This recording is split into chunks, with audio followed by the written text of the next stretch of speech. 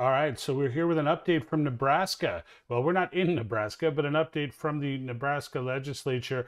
Uh, LR 14, which is the Convention of States resolution that is on the table there, has already passed committees, so that was win number one. And it went to the floor for its first of three votes, and it did very well. Let's get into it.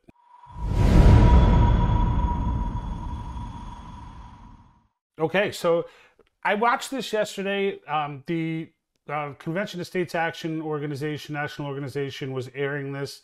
Um, the entire the entire thing was pretty mundane at points, but you know, it really, if you're familiar with Convention of States and what the issues, what the arguments are against it, you already know that they don't make a lot of historical sense, and and it does end up taking people down roads where they don't look like the sharpest tools in the shed. I mean, this, this whole experience for me in watching multiple hearings on these resolutions, you know, the, the whole thing makes me walk away saying one of the amendments that should be added is that there should be an exam that needs to be passed in civics and constitution uh, just to be allowed to run. Okay, because when you listen to some of these people talk, it's so irrational at points where they just, for whatever reason, people can't wrap their head around the ratification process. They just can't wrap their head around it. And they're so fearful of what might be proposed, as if anything crazy would have a chance of being ratified by, by 38 states. That's not how it works. That's not how any of this works. But nonetheless, they still, you know, they, they won't let go. And, and to the to the far leftist, all right, not Democrat voter, because they're in cahoots. Democrat voters, 55%, you know, in recent polling were showing that they're in line with these issues, with term limits, with government overreach amendments, and with fiscal restraints. They're in line with that. It's the politicians, it's the far left politicians, all right? And the reason why they're afraid of this is because this this ruins everything.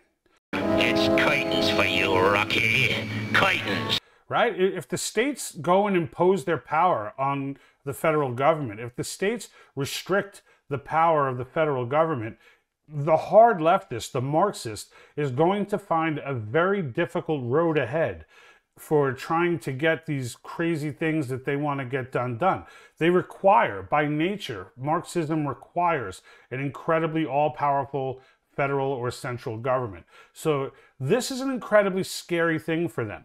So I understand why they they know they're not being rational. They don't care, right? Because they have an agenda. What creeps me out is that on occasion when a Republican or you know, not even Republican, just a conservative, you know, in general, be it a libertarian, you know, or or a or a stronger conservative, the fact that they can't get this, and and, and that you know they they try to stoke this fear, this fear in everybody. It's like, oh, if we do this, you, yes, you know, technically the Constitution gives you this power, but this power is far too great to be wielded by simpletons like the state legislatures and the people.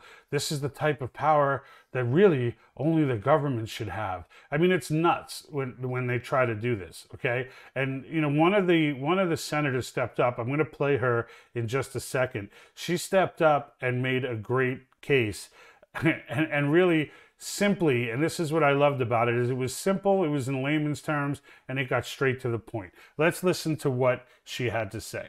I've heard a couple of things this afternoon that that concern me, and I, am not sure what we're afraid of on LR 14. Are we saying that we don't we don't we're afraid of the people?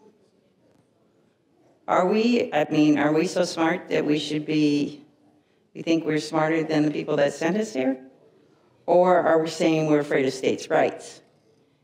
And if we're afraid of states' rights, that's a huge concern because that really takes away any authority we have.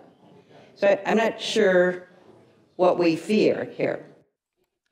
Okay, and this is a big deal. What she just said there is a big deal because when you stop and you just use your head, right, and you just think about this for a moment objectively, that's all of these arguments with, with this bizarre runaway convention and that the delegates are going to gain these mystical powers once they get selected and, and all of these things. Really, what they're saying is that we don't trust the people.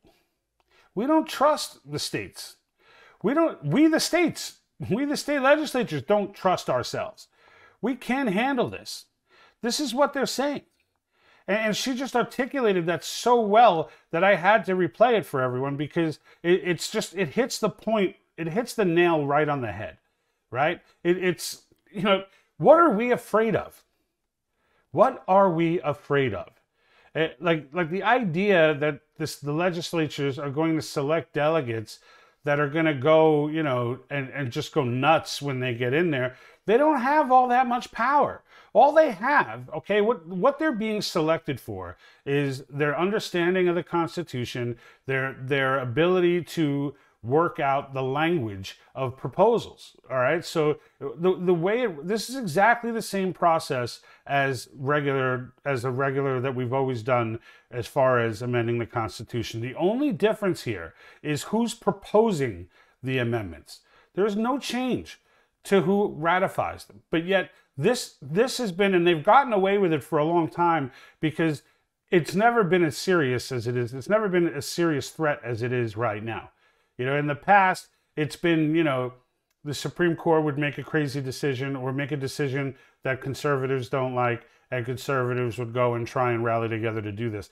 This is a bigger deal now because now all sides are in on this. All sides are agreeing with this. It's not a divisive issue like abortion or something like that. Term limits, everyone, everyone, the majority, I should say, of everyone agrees with. All right. The, the minority is loud. There's no doubt about it.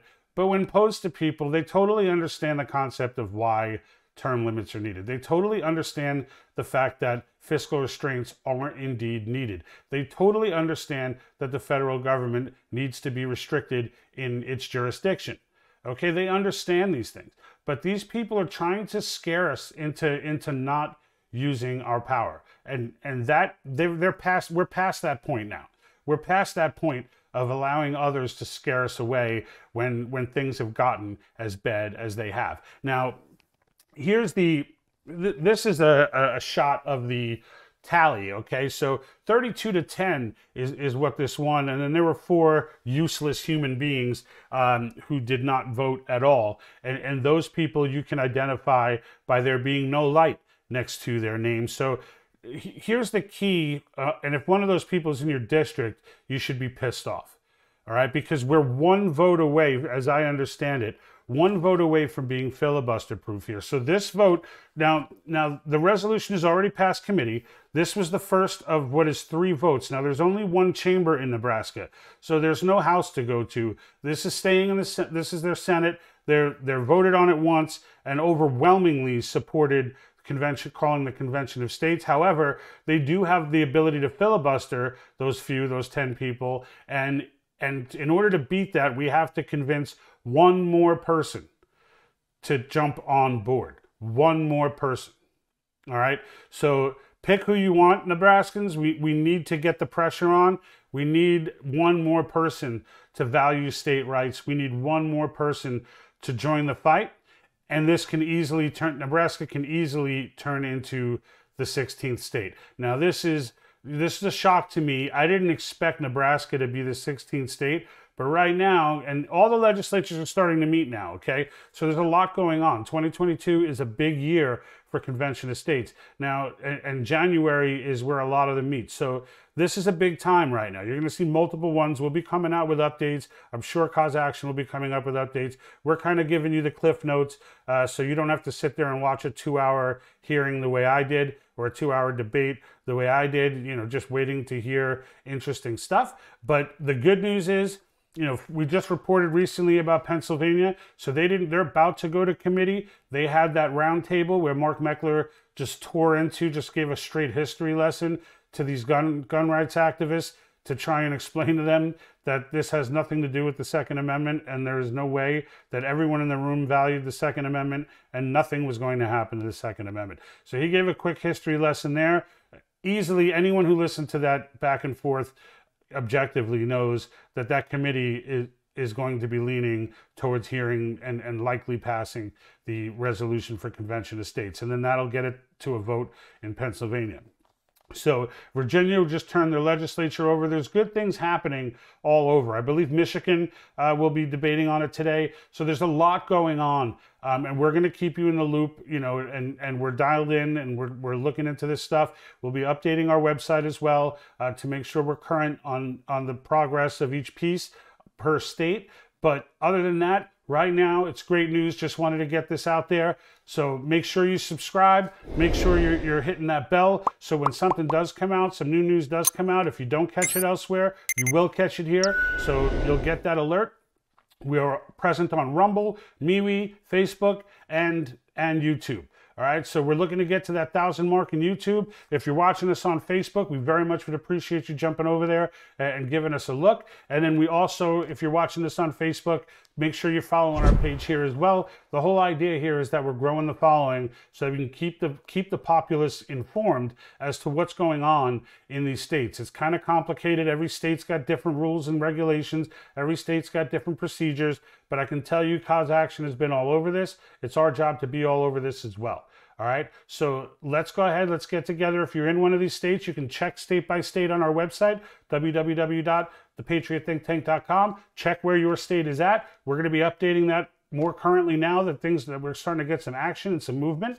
Um, so, you know, check out your resolution, find out who your representative is. We've got links to the COS Action website as well, uh, where you can sign the petition. Get yourself involved get yourself involved okay?